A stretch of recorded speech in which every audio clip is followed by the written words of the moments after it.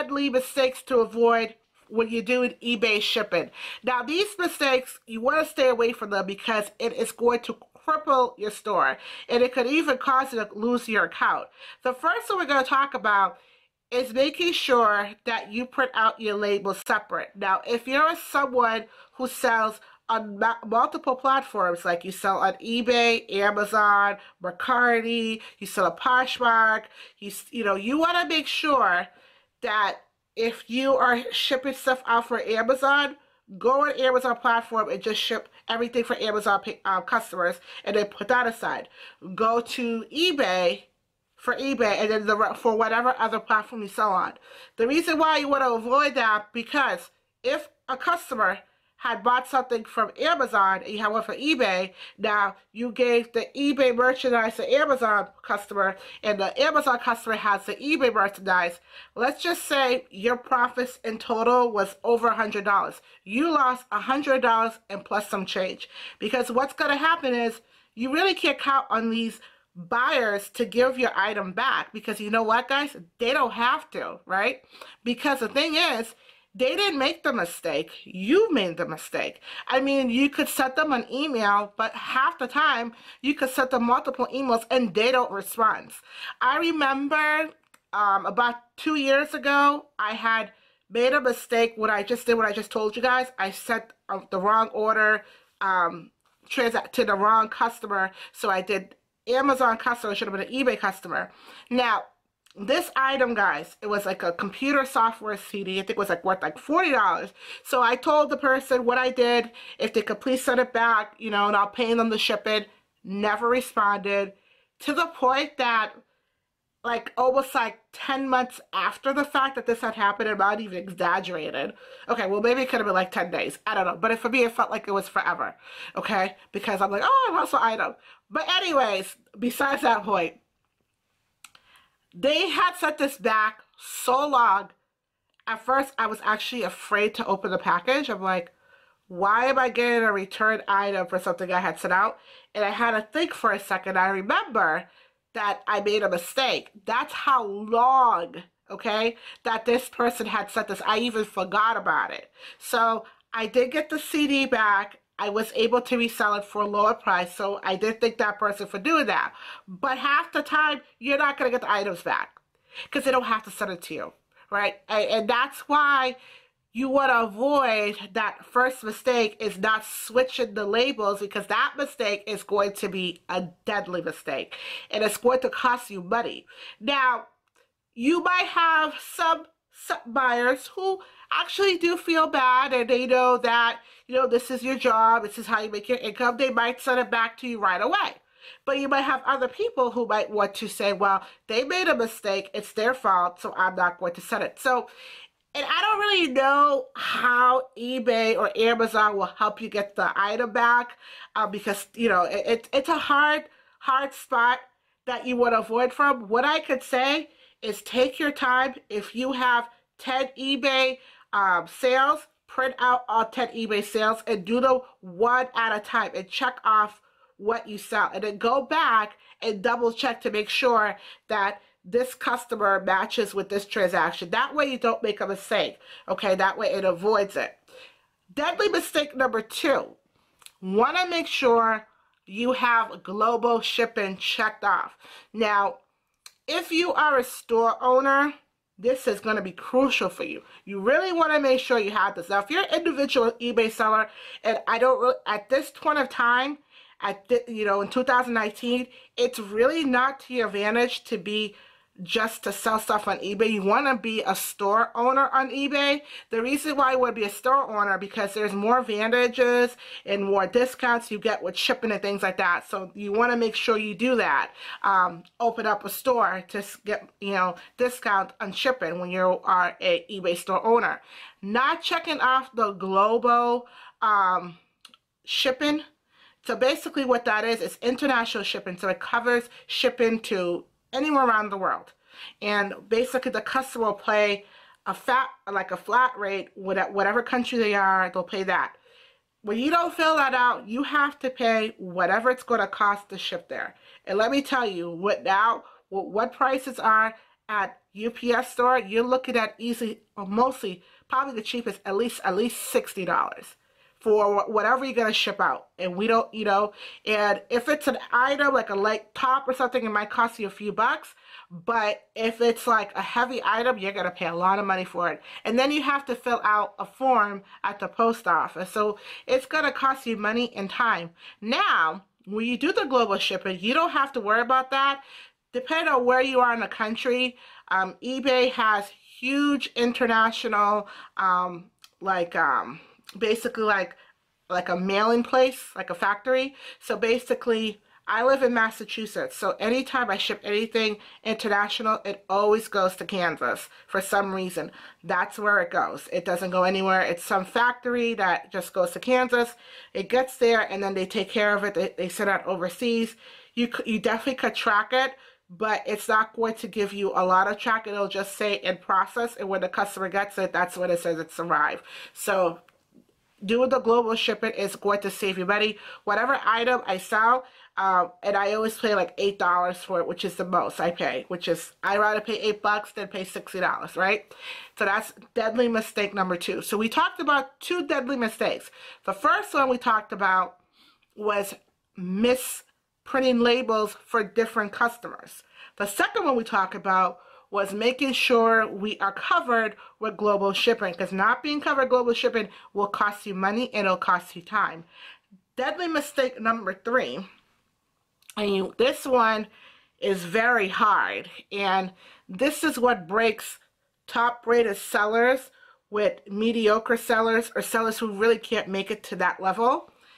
Pricing your items. If you price your items too high, and you have a store. So let's say the cheapest store is 20 bucks a month, right? And every item you have in your store is like 30, 40, 60, 80. Like the highest item you have in your, every, like the lowest item you have in your store is like $40. Everything else is 40 and up. You're probably not going to make a lot of money. But it really depends on what you have. So you don't want to price your items too high. Price your items too high is a deadly mistake because the reason why it's a deadly mistake you have you have monthly fees to pay with eBay, and if the money's not coming in, you're basically just taking your hard-earned cash and just sending eBay a check. So you're paying eBay. Instead of eBay paying you, you're paying them. So you really want to think about how you price your items.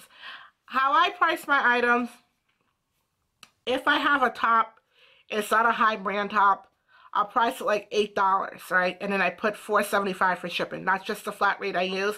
That way you get some money with the shipping and then whatever money's left over, you'll get that. And that could easily give you like around $10. That's how I do my, my, my, my sales and stuff. Try to give your customers a good deal. I know we're all in it to make money, but at the same time, you want your customers to keep coming. If people are coming to your store and your items are really expensive and then they set you like a best offer, you don't take it, you might not make any money. You know what I mean? And it really depends on what items you have. So that's a deadly mistake. Sometimes a lot of people have the misconception like if they buy only designer items, they're gonna make millions of dollars. And that's not always true. Have it you really with eBay, you really don't know what's going to sell. You could, you know, this is just example. You could get like a Louis Vuitton bag for one of your girlfriends, and you're like, oh, I'm going to sell this bag in two weeks. That bag could sit there for 10 months because guess what? Everybody else probably has that same bag. And then you probably have a TJ Maxx purse that you probably bought for like 8 bucks and you think it's not really worth anything. You put it in for 20 bucks, you sold that quicker than you sold your Louis Vuitton bag. You don't know it's really like gambling on eBay. You know, you, you, put something up, you don't know. So you want to avoid deadly mistake number three. Don't price your items too high. Make sure you price your items correctly.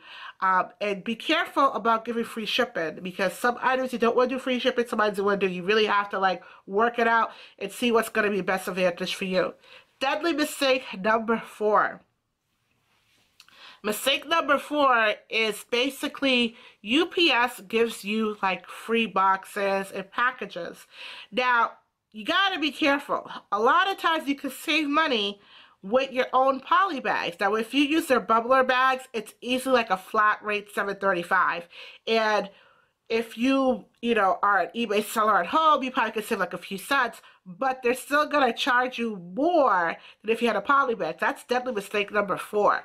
You really want to make sure I honestly would only use a UPS box is if I have heavy items, like a, a heavy purse, or if I'm selling like breakable items or if I'm doing a lot, I want to use their box. I'm going to pack it up and it's going to be a flat rate. It's going to actually cost me less than if I was to get my own box because my own box is going to cost more money. Deadly mistake number five. Now this one is a big one. And actually, not only could your store get closed, you could actually get arrested. You got to be careful with this one. This deadly mistake number five is charging your customers more for shipping when they should not. And then basically what you do is you, like, for example, if you have like a top, right? And now we all know, like, let's take this top I'm wearing right here, easily is two ounce, okay? Now, with UPS online, it's pretty smart. Like, whether it's one ounce, two ounce, it's going to be 275. Now, let's say example that this top was seven ounces and I put it for two ounce, it charged my customer like $9 for shipping. But when I went to the UPS store, I only paid $2 and I kept the rest of the money. Your customer is going to see first class, you know, region A, depending on where they live, 275 not only is your customer going to be annoyed, they could even report you to the um, UPS Federal. You got to be very careful with that because that's called stealing, right? You can't do that. So that's why you have to have a scale. Now, you can make a mistake, and some people honestly make mistakes they don't know, but I'm not going to mention names, but I've seen videos where they have been people who are caught doing this. And what these buyers do is they expose these people on social media, they expose them on YouTube, and that is pretty bad. You know, you want to make sure you avoid that deadly mistake. Deadly mistake five is charging your customers more for shipping than what they should be paying for. Stay away from that. Now, if you do it at home, you know, it doesn't print out what they pay, but you got to be careful because even when you bring it to the store, they still weigh the item. So if it's like, you know, if it's like a few ounces, I don't think the UPS store is like, you know, they're going to tell you, oh, but for example, if something weighs like seven pounds and you print out a receipt for two ounces, they're going to question that. And they might even tell you that you cannot ship anything for because now you basically, you know, they don't trust you anymore. So you got to be careful about that. So those are the five deadly mistakes. And we could go back over them again. The first one was be careful about not misprinting out different labels. The second one was you want to protect yourself for global shipping, right? The third one was pricing your items at a reasonable price that your customers want to buy from. Now, you don't want to price too high, but you don't want to price too low at the same time. The fourth one we talked about, oh, now I'm trying to remember. Uh, what did I say for the fourth one? I think the fourth one we talked about let me talk about the fourth one. Oh, yes, the UPS boxes. See how I forgot easily? So we talked about um, using a poly bag versus using your old poly bag versus using uh, UPS, like post office poly bag or boxes. It really depends on the item. And then the last one we talk about is measuring your, weighing your items, like this, the top that I have on, to the accurate price to charge your customers what the item's for. Okay, now sometimes you make a few change off of the item, but if, you know, for tops, your customer is probably going to pay anywhere from 275 to 365 Don't charge them $9 for a blouse when you know it's one ounce. Don't do, and honestly, I don't think someone's to pay $9 for a blouse for shipping because when I shop online on any other store, I'm looking for free shipping and I will pay seven or eight dollars for an item, depending if I need it. But I'm not paying eight dollars for a blouse. That's I'm telling you that right now. I'm not doing it. Right. So that's so think about how your customer would think. So guys, I really hope these these topics, you know, these type of informative videos help you guys because these mistakes I've made them. We all made these mistakes. Um,